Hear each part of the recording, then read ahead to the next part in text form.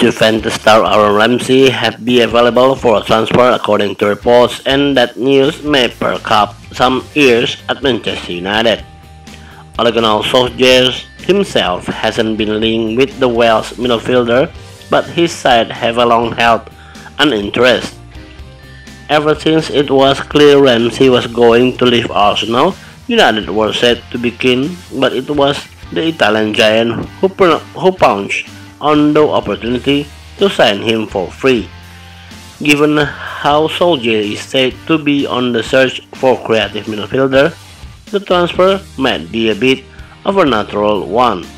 However, the report doesn't claim that the Red Devils are keen on him, so there may be nothing to the former Arsenal man's apparent availability.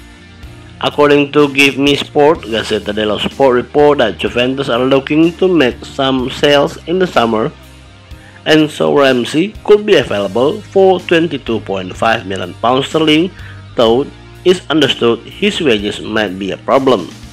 The fee is also not to be entirely promising one given how Ramsey is 29 years old and Manchester United have avoided making that type of transfer under Solskjaer.